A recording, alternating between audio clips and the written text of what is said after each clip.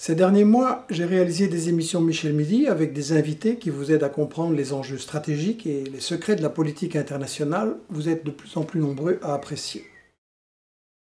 J'ai aussi lancé une nouvelle émission, le Média Mensonge du jour, parce que le droit de savoir, ça commence par les moyens de repérer la désinformation qui essaye de vous manipuler.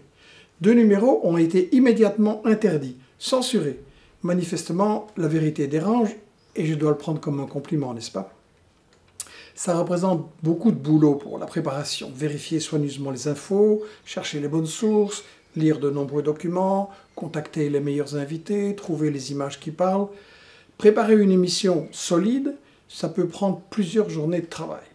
Parfois, je prépare un sujet et je dois renoncer à publier par manque de temps pour toutes ces recherches. Il faut savoir que je dirige aussi l'ensemble des équipes d'investigation, beaucoup d'administration pratique, et la maison d'édition de nos livres. En plus, j'ai commencé à écrire deux livres, un sur Israël, un sur la manipulation des ONG et de l'opinion par les États-Unis, et faute de temps, ils sont au frigo depuis plus d'un an.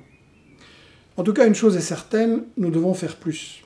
La crise, la guerre, les coups d'État plus ou moins camouflés, la censure, alors que c'est en train de chauffer très fort, pas seulement en Ukraine, dans tous les coins de la planète en fait, j'ai besoin de renfort.